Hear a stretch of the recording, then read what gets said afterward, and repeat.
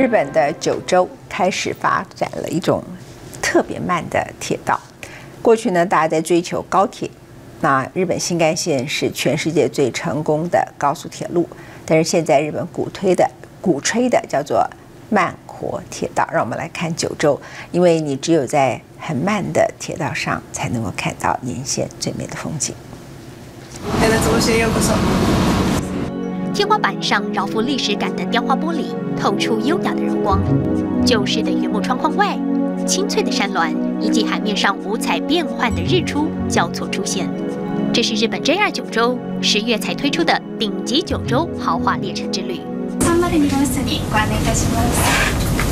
こちらのお部屋はあの天井や床壁が桜の木が使われております。 一部屋一部屋に使われている木が違いますので。房内布置低调奢华，连吸脸台都有讲究。乳白色瓷器上点缀着淡雅的小红花，这是由日本人间国宝十四代酒井田氏右卫门亲手烧制的有田烧。大师已于六月过世，这些作品更显珍贵。これからの人生を考えていただきながら有意義な時間をお過ごしいただきたいな。そのための最高の空間と 最高の時間を用意しております。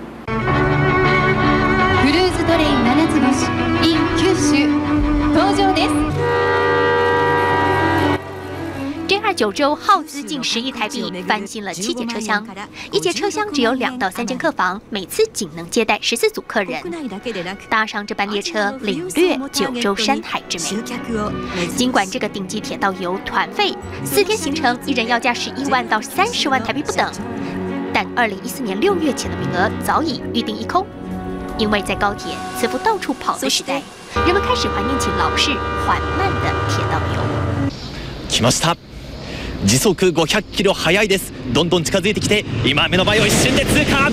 战后的日本追求科技，全力提速，从时速三百多公里的新干线到时速五百多公里的磁浮列车，安全便利超越一切。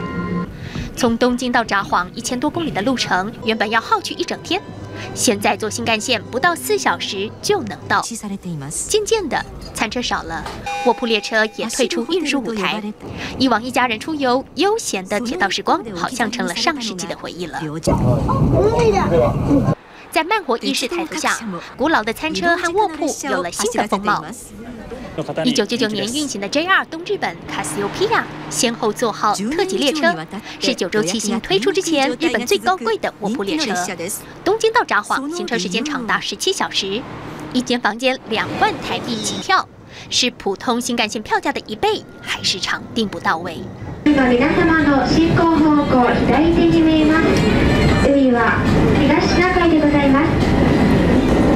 九州的肥萨城铁道推出的 Orange Cafe。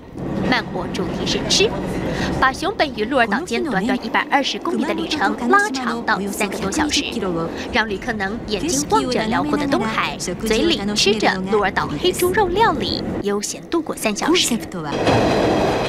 Orange Cafe 二零一三年三月才上路，就已经让飞萨局铁道的收入比前一年增加了百分之二十。日本各铁道公司陆续推出铁道行程。一方面慢火热当然是原因，另一方面铁道业者开始放眼日本金字塔顶端客层。3日間寝てたとかね、そういうこと平気で言えるようになったら嬉しいなと思う。自然が素敵ね。 目标客层的转换与这十多年来日本消费族群的变化有关。两千年以来，日本走向 M 型社会。中产阶级消失了，同时间，日本拥有随时可动用资产超过一百万美元的富人层。过去十年，从一百二十多万人增加到一百八十二万人，人数上在全球仅次于美国。虽然在二零一三年的这波日元贬值，可能有三十万人跌出富人圈外，但剩下的一百五十多万人仍扛有高达三兆台币的商机。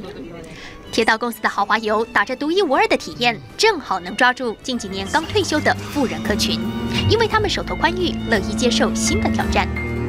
在为铁道公司增加营收的同时，又能在慢活的包装下，让旅客在各个景点长时间停留，拓展地方消费，创造双赢局面。